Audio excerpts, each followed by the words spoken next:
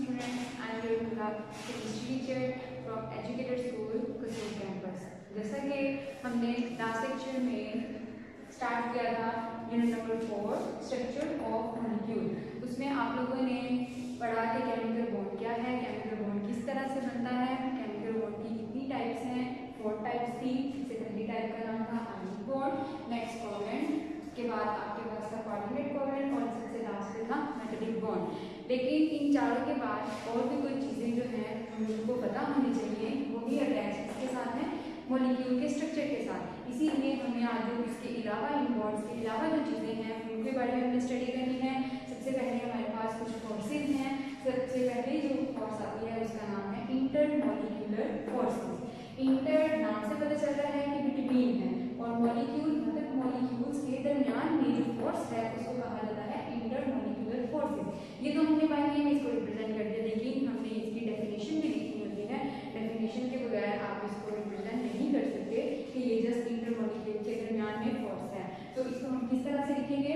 इसकी आप डेफिनेशन देख लें कि ये वीक फोर्सेस होती हैं। जैसे कि आपने लास्ट लेक्चर में पढ़ा केमिकल बॉन्ड था आयनिक बॉन्ड था कोवलेंट बॉन्ड था कोऑर्डिनेट जितने भी बॉन्ड थे, उनमें जो फोर्सेस थी, वो स्ट्रॉन्ग फोर्सेस थी। लेकिन जो इंटरमोलिकुलर फोर्सेस है, ये हमारे पास वीक फोर्सेस है। In addition to strong forces weakest forces are also present between molecule this weak forces are called intermolecular forces तो नाम देखिए बच्चे उसमें है इंटरमोलिक्यूल मॉलिक्यूल के दरमियान में ये फोर्सेस है। जितनी भी पीछे हमने पढ़ी थी, वो मॉलिक्यूल के दरमियान नहीं थी, वो एटम्स के दरमियान में फोर्सेस थी। तो ये है दो मॉलिक्यूल के दरमियान की फोर्सेस इसको हम एग्जांपल के थ्रू एक्सप्लेन करते हैं। आपके पास एक मॉलिक्यूल है HCl का हाइड्रोजन क्लोराइड HCl का मॉलिक्यूल है। इसको हम लोग शो करवाते हैं कि इसमें इंटरमोलिक्यूलर फोर्सेस पाई जाती हैं या नहीं पाई जाती।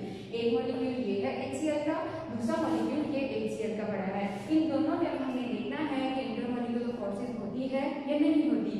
तो इनमें इंटरमोलिक्यूलर फोर्सेस पाई गई लेकिन क्यों पाई गई इस तरह से हमें पता चला कि अट्रैक्शन हो रही है।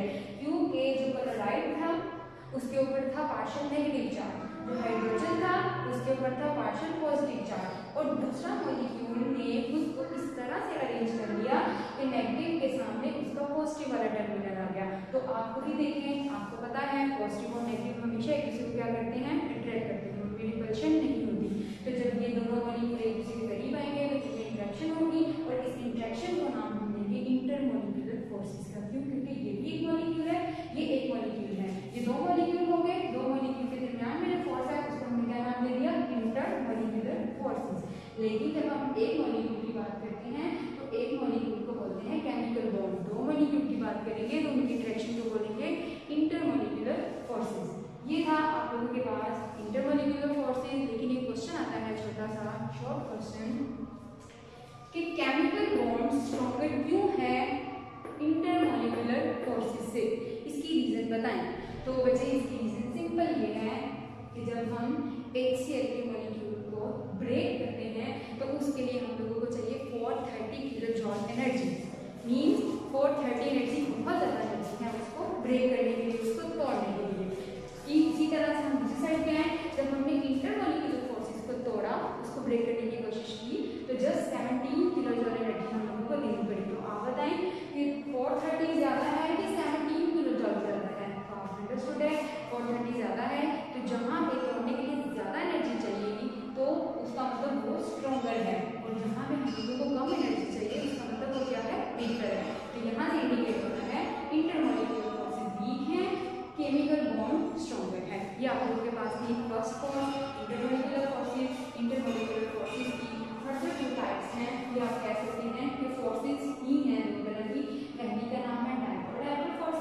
फोर्सेस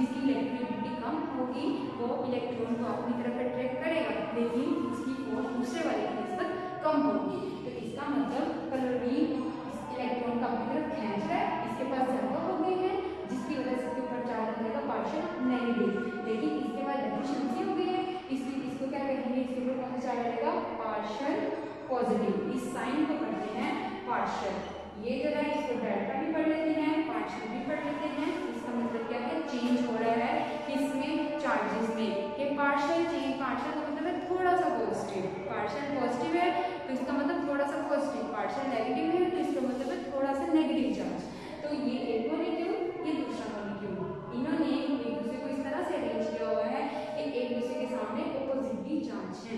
तो जब चार्ज आ जाते हैं तो इनके ऊपर आ जाता है एक पोल तो ये हमारा एक पोल है। ये एक पोल है और ये हमारा सेकंड पोल है। तो ये एक पोल ये दूसरा पोल मींस के ये डाइपोल डाइपोल के दरमियान में जो इंटरेक्शन है, इसको बोलते हैं डाइपोल डाइपोल फोर्सेस ये एक डाइपोल ये सेकंड डाइपोल नेक्स्ट आप लोगों के पास जो सेकेंड फोर्स है, वही टाइप है इंटरमोलिकुलर फोर्स की और उसका नाम है हाइड्रोजन बॉन्डिंग जो फ़र्स्ट थी वो थी डाइपोल डाइपोल फोर्सेस और जो सेकेंड है, वो आपके पास है हाइड्रोजन बॉन्डिंग हाइड्रोजन बॉन्डिंग जो है, उसको पढ़ने से पहले आप लोगों को एक चीज़ माइंड में रखनी है कि ये एक स्पेशल टाइप है इसकी इंटरमोलिकुलर फोर्सेस की. इंटरमोलिकुलर की दोनों ही स्पेशल है, लेकिन ज़्यादा जो मानी जाती है वो है हाइड्रोजन बॉन्डिंग और जो सेकेंड चीज़ है वो ये भी आपने माइंड में रखना है कि ये यूनिक टाइप और टाइप की इंटरेक्शन है मतलब ये दोनों चीज़ों को अपने अंदर लेके आ रहा है। एक ये कि एक स्पेशल टाइप की क्या है? इंटरमोलिकुलर फोर्सेस है। दूसरी ये कि ये यूनिक टाइप और टाइपल इंटरेक्शन है। लेकिन डाइहाइड्रोजन बॉन्डिंग करने से पहले, इसके बारे में पढ़ने से पहले आपको दो कंडीशन अपने माइंड में रखनी है। फिर आप इजीली इसकी डेफिनेशन की तरफ़ भी जा सकते हैं और इजीली इसकी एग्ज़ाम्पल की तरफ़ भी जा सकते हैं जी सबसे पहले इसकी कंडीशन क्या है पहली कंडीशन ये है कि जब हमने हाइड्रोजन बॉन्डिंग करनी है तो must be present hydrogen atom with partial positive charge hydrogen ज़रूर प्रेजेंट होना चाहिए इस बॉन्डिंग में, क्यों? क्योंकि उसका नाम ही क्या है? हाइड्रोजन बॉन्डिंग तो हाइड्रोजन उसकी फ़र्स्ट कंडीशन है। हाइड्रोजन का प्रेजेंट होना बहुत ज़्यादा ज़रूरी है। लेकिन इसमें एक और चीज़ बता दी कि उसके ऊपर कौन सा चार्ज होना चाहिए? पार्शियल पॉजिटिव चार्ज भी होना चाहिए। सेकेंड कंडीशन उसकी क्या है? जिसके साथ हाइड्रोजन ने बॉन्ड बनाना है, वो क्या होना चाहिए? वो स्मॉल साइज़ का होना चाहिए। और जो चीज़ जितनी ज़्यादा स्मॉल है, वो उतनी ही ज़्यादा इलेक्ट्रॉन नेगेटिव होती है।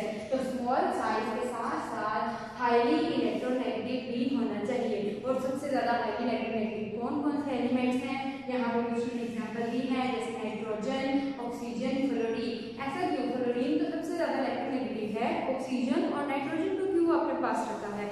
इसकी ये भी कंडीशन है कि कोई ऐसा तो होना चाहिए जो स्मॉल है और हाईली इलेक्ट्रोनेगेटिव भी है। जो थर्ड चीज़ पास अगर लोन पेयर भी अवेलेबल है तो वो एलिमेंट्स भी ले सकते हैं। कौन से? जिनके पास लोन पेयर भी प्रेजेंट होगा, वो भी हम ले सकते हैं। तो उसमें ये तीनों मेजर हैं नाइट्रोजन ऑक्सीजन एंड फ्लोरीन जी, ये इसकी दोनों कंडीशन हाइड्रोजन बॉन्डिंग की।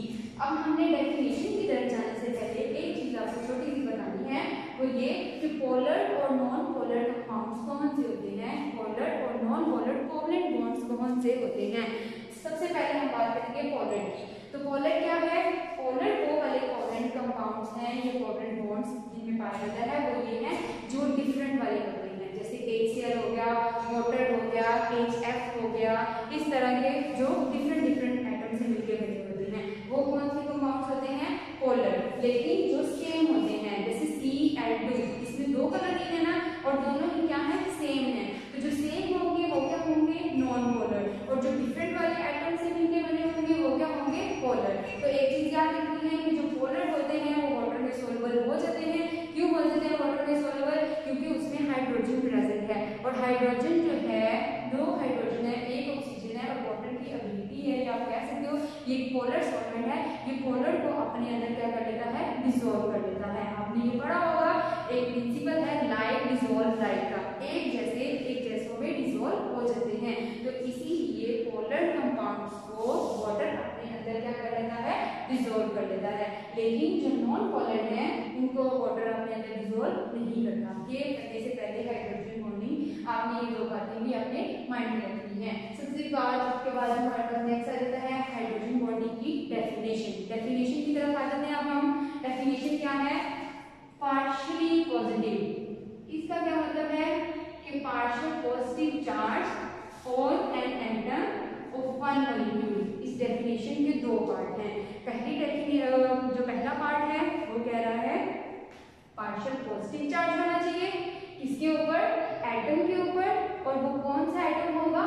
एक मॉलिक्यूल का। ये हो गया इसका फ़र्स्ट पार्ट सेकेंड पार्ट जो अट्रैक्ट करेगा, किसको? Partially negative charge of atom of other molecule इसका मतलब ये है डेफिनेशन में ही उसे सब कुछ क्लियर कर दिया है कि आपके पास दो मॉलिक्यूल एक मॉलिक्यूल का पॉजिटिव दूसरे मॉलिक्यूल का नेगेटिव तो दोनों में जो इंटरेक्शन होगी, वो क्या कहलाएगी हाइड्रोजन बॉन्डिंग लेकिन कंडीशन है हमने बताया था पॉजिटिव वाला क्या होना चाहिए? हाइड्रोजन और नेगेटिव वाला क्या होना चाहिए? नाइट्रोजन ऑक्सीजन या फ्लोरीन इनमें से आप कोई भी ले सकते हैं. अब हम लोग आ जाते हैं इसी डेफिनेशन को नज़र में रखते हुए इसकी एग्जांपल की तरफ़. कॉमन एग्ज़ाम्पल है हाइड्रोजन बॉन्डिंग की वाटर मॉलिक्यूल वाटर H2O और H2O को जब मैं ओपन करके स्ट्रक्चर को लिखती हूँ तो आप देख सकते हो H पार्शियल पॉजिटिव फिर आप बॉन्ड बनाएँगे, फिर ऑक्सीजन पार्शियल नेगेटिव फिर आप बॉन्ड बनाएँगे नीचे की तरफ़, और वो क्या होगा? एच पार्शियल पॉजिटिव मीन ये आपने हाइड्रोजन का क्या कर दिया है? स्ट्रक्चर ड्रॉ कर दिया है H2O तो ऑक्सीजन की इलेक्ट्रोनेगेटिविटी ज़्यादा होने की वजह से इसके ऊपर आ जाएगा चार्ज पार्शियल नेगेटिव इन दोनों की इलेक्ट्रोनेगेटिविटी ऑक्सीजन से कम होती है, इसलिए इनके ऊपर कौन सा चार्ज आ जाएगा पार्शियल पॉजिटिव चार्ज इसी तरह से दूसरा मॉलिक्यूल देखें, वो भी किसका है? वाटर का. और उसमें भी ऑक्सीजन के सामने कौन सी चीज़ आएगी? हाइड्रोजन क्यों? क्योंकि ये नेगेटिव है और ये पॉजिटिव है. दोनों में इंटरेक्शन होगी और इस इंटरेक्शन को क्या नाम देंगे हाइड्रोजन बॉन्डिंग दोनों के दरमियान जो इंटरेक्शन हो रही है उसको आपने क्या नाम देना है? हाइड्रोजन बॉन्डिंग क्यों हाइड्रोजन बॉन्डिंग देना है? क्योंकि एक साइड पे हाइड्रोजन है। और ये कंपल्सरी होना चाहिए, यहाँ पे कोई और एटम नहीं होना चाहिए। हाइड्रोजन होगा, यहाँ पे चेंज हो सकता है। कोई भी आ सकता है, कोई और कंपाउंड ले सकते हैं। लेकिन एक साइड पे हाइड्रोजन का होना क्या है? ज़रूरी है। ये थी आप के पास हाइड्रोजन बॉन्डिंग हाइड्रोजन बॉन्डिंग की डेफिनेशन और उसकी एग्ज़ाम्पल उसके बाद कुछ शॉर्ट क्वेश्चन पूछे जाते हैं हाइड्रोजन बॉन्डिंग से ही रिलेट करते हैं वो शॉर्ट क्वेश्चन जी पहला क्वेश्चन जो है वो ये आता है वाटर का बॉइलिंग पॉइंट हंड्रेड है अल्कोहल का boiling point seventy eight degree है, ऐसा क्यों? वाटर का बॉइलिंग पॉइंट क्यों ज़्यादा होता है? अल्कोहल से। तो इसकी रीजन भी आएगी हाइड्रोजन बॉन्डिंग में ही। क्यों? क्योंकि वाटर की हाइड्रोजन बॉन्डिंग होती है ज़्यादा अल्कोहल में हाइड्रोजन बॉन्डिंग है कम तो याद रखना है जिनमें हाइड्रोजन बॉन्डिंग ज़्यादा होगी, उनके बॉइलिंग पॉइंट्स भी क्या होंगे? ज़्यादा होंगे। जहाँ पर हाइड्रोजन बॉन्डिंग कम होती है, वहाँ पर बॉइलिंग पॉइंट्स भी क्या होंगे? कम होंगे। इसी तरह से ये आप लोगों का जो टॉपिक है वाइंड होता है हाइड्रोजन बॉन्डिंग का। और कुछ लास्ट चैप्टर इसी चैप्टर के लास्ट में एक चीज़ है, वो ये, वो जो हमने अभी तक सारा पढ़ लिया है, उनकी कुछ थोड़ी थोड़ी प्रॉपर्टीज़ हैं जैसे आयनिक कंपाउंड था कोवलेंट कंपाउंड था कोऑर्डिनेट कोवलेंट था पोलर एंड नॉन पोलर थे और लास्ट में थी मेटल्स ये आप लोगों ने बॉन्ड के बारे में पढ़ा था सारे, उनकी हमने थोड़ी थोड़ी प्रॉपर्टीज़ पढ़नी है। और उनमें से ionic compound covalent compound long में भी पूछे जाते हैं शॉर्ट में भी पूछे जाते हैं। तो इनको आप लोगों ने ज़्यादा अच्छे से करने हैं। बाकी जो है, पूछी जाती है, वो शॉर्ट पूछी जाती हैं। तो आयनिक और कोवलेंट की प्रॉपर्टीज़ को आपने एज अ लॉन्ग भी याद रखना है। तो सबसे पहले जो हम प्रॉपर्टी करेंगे आज, वो है आयनिक कंपाउंड की आयनिक कंपाउंड की प्रॉपर्टीज़ सबसे पहले ये है कि ये सॉलिड इन स्ट्रक्चर होते हैं. सॉलिड इन स्ट्रक्चर मतलब कि इनकी कंपोजिशन सॉलिड होती है हार्ड होते हैं. ऐसा क्यों है? आयनिक कंपाउंड सॉलिड क्यों होते हैं? ये देखें, हम लोगों ने जब आयनिक कंपाउंड किया था, वहाँ पे एग्जांपल ली थी सोडियम क्लोराइड की NaCl वहाँ पे आपने देखा था सोडियम पे होता चार्ज क्लोरीन पे होता है नेगेटिव चार्ज तो यहाँ पे पार्शियल चार्ज नहीं है फुल पॉजिटिव फुल नेगेटिव तो इनमें अट्रैक्शन बहुत ज़्यादा है, बहुत हार्ड है, बहुत स्ट्रॉन्ग है. आयनिक बॉन्ड वैसे ही बहुत स्ट्रॉन्ग होता है, बाकी वाले बॉन्ड की निस्बत तो इस तरह से इस दोनों में बहुत ज़्यादा अट्रैक्शन की वजह से ये क्या होते हैं? सॉलिड नेचर होते हैं. तो आप कह सकते हो कि ionic compounds are ionic compound are solid in nature ये इसकी पहली प्रॉपर्टी थी. सॉलिड होने की वजह से इनके मेल्टिंग पॉइंट और बॉइलिंग पॉइंट भी क्या होंगे? ज़्यादा। यहाँ पे आपने कंफ्यूज होना एम का मतलब मेल्टिंग पॉइंट डी का मतलब बॉइलिंग पॉइंट तो मेल्टिंग पॉइंट और बॉइलिंग पॉइंट दोनों के क्या आयनिक कंपाउंड्स के क्या होंगे? हाई होंगे। थर्ड पॉइंट है कि ये आपने देखा था, जहाँ पे पॉजिटिव और नेगेटिव चार्ज आता है, वो क्या होते हैं? पोलर तो पोलर सब्सटेंस वाटर में क्या हो सकते हैं? आसानी से सोलुबल हो सकते हैं। लास्ट पॉइंट ये है कि ये होते हैं गुड कंडक्टर क्यों? क्योंकि इनके ऊपर आइंस हैं। जहाँ पर आइंस आ जाएँगे इलेक्ट्रॉन्स आ जाएँगे गेन लॉस आ जाएगा, वहाँ पर आपने कहना है फ्री इलेक्ट्रॉन्स पाए जाते हैं या फ्री आइंस होते हैं। जहाँ पे भी इलेक्ट्रॉन फ्लो करेंगे तो इसका मतलब उसमें से क्या कर रहा है? करंट पास कर रहा है। तो ये good conductor of heat and electricity है। इसी तरह से आप लोग आ जाए कोवलेंट कंपाउंड की प्रॉपर्टी पे। सारे का सारा कोवलेंट इसका ऑपोजिट है। इसको याद करने का तरीका है। आयनिक कंपाउंड का जस्ट ऑपोजिट क्या है? कोवलेंट कंपाउंड यहाँ पे आपने पढ़ा हाई मेल्टिंग यहाँ पे लो मेल्टिंग है बॉइलिंग पॉइंट यहाँ पे आपने पढ़ा ये गुड कंडक्टर है। यहाँ पे आप कह रहे हो कि ये गुड कंडक्टर नहीं है। यहाँ पे आप कह रहे हो कि ये वाटर में सोलबल है। लेकिन कोवलेंट में दोनों पॉसिबिलिटी आ जाती है। ये सोलबल भी हो सकते हैं वाटर में और इनसोलबल भी हो सकते हैं। ये किसके ऊपर डिपेंड करता है? ये डिपेंड करता है कि कोवलेंट कंपाउंड पोलर नेचर के हैं। या नॉन पोलर नेचर के हैं। अगर तो वो पोलर नेचर के होंगे तो वो पानी में सोलबल हो जाएँगे। अगर वो नॉन पोलर नेचर के हैं तो वो वाटर में सोलबल नहीं होंगे। और एक चीज़ और बतानी है कोवलेंट कंपाउंड में, वो ये जिनका मोलिकुलर वेट यानी कि मैस ज़्यादा होगा। उनको ब्रेक करना भी मुश्किल होगा। जिनका वेट क्या होगा? कम होगा। उनको ब्रेक करना भी आसान होगा। तो यहाँ पे लिखा है हाई मोलिकुलर मैस होता है उनके बॉइलिंग पॉइंट मेल्टिंग पॉइंट ज़्यादा होंगे देन लो मोलिकुलर वेट जी लास्ट में हमारे पास क्या है? मेटल्स हैं। मेटल्स की प्रॉपर्टीज़ जो हैं, इनमें कुछ पॉइंट्स जो हैं, वो एमसीक्यू के लिए भी पूछे जाते हैं शॉर्ट के लिए भी पूछे जाते हैं। इसको आपको अच्छे से करना है? मेटल्स आपको पता है मेटल्स के जितने भी आपने मटेरियल्स देखे होंगे, उनमें शाइनिंग होती है। लस्ट्रस मेटेलिक लस्ट्रस यहाँ पे वर्ड है मेटेलिक लस्ट्रस लस्ट्रस का मतलब है चमकदार। उनको देखने से पता चलता है कि ये चीज़ मेटल की बनी हुई है या किसी और चीज़ सेकेंड पॉइंट है, ये डक्टाइल होते हैं और मेलिएबल होते हैं। डक्टाइल क्या होता है और मेलिएबल क्या होता है? ये एमसीक्यू पूछे जाते हैं दोनों कि what is mean by ductility and how we can understand about malleable तो आपने याद रखना है कि मेलिएबल वो होते हैं जिनकी शीट्स बनाई जाती हैं। कुछ मेटल्स हैं जिनकी शीट्स बनाई जाती हैं और कुछ मेटल्स हैं जिनकी वायर्स बनाई जाती हैं। जो चीज़ वायर्स में बना सकती है, वो शीट में नहीं कन्वर्ट तो जो वायर्स वाले होते हैं, उनको डक्टाइल बोलते हैं जो शीट होती हैं, उनको क्या बोलते हैं मेलिएबिलिटी यानी कि ये दोनों प्रॉपर्टी किन में पाई जाती हैं मेटल्स में। थर्ड पे आ गए ये भी गुड कंडक्टर होते हैं, ये भी गुड कंडक्टर होते हैं। जब हमने मेटेलिक बॉन्ड वाला टॉपिक पढ़ा था, आपको याद होगा, वहाँ पे हमने कहा था कि मेटल्स जो हैं उनमें फ्री इलेक्ट्रॉन्स या मोबाइल इलेक्ट्रॉन्स पाए जाते हैं। मोबाइल और फ्री का मतलब यही था कि इंडिपेंडेंटली मूव करते रहते हैं इलेक्ट्रॉन्स एक जगह से दूसरी जगह। उन इलेक्ट्रॉन्स की वजह से ये भी क्या होते हैं? गुड कंडक्टर होते हैं। और मोस्टली घरों में भी इलेक्ट्रिसिटी के लिए कॉपर वायर यूज़ कर लेते हैं, इस तरह की वायर यूज़ करते हैं। क्यों ये यूज़ करते हैं? क्योंकि इनमें से करंट आसानी से और स्पीडली मूव कर देता है। उसके बाद है कि ये इनका मेटल्स का साइज़ जो है वो क्या होता है बड़ा और जिसका साइज़ जितना बड़ा होगा उतनी ही ज़्यादा वो इलेक्ट्रो पॉजिटिव होते हैं तो लार्ज साइज़ के होने की वजह से ये इलेक्ट्रो पॉजिटिव इन नेचर होते हैं सबसे लास्ट पॉइंट ये है कि जितनी भी मेटल्स हैं वो सॉलिड होती हैं हार्ड होती हैं, उनको ब्रेक करना भी मुश्किल होता है। इसका मतलब उनका मेल्टिंग पॉइंट भी ज़्यादा है, उनका बॉइलिंग पॉइंट भी ज़्यादा है। ये की प्रॉपर्टीज़ इसकी मेटल्स की। और एक है coordinate covalent bond coordinate covalent bond की भी same property just like covalent compounds होती हैं। वो भी सोलबल नहीं होते वाटर में